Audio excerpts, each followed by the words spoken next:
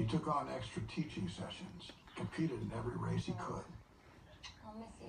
This meant my spending more and more time alone with Eve.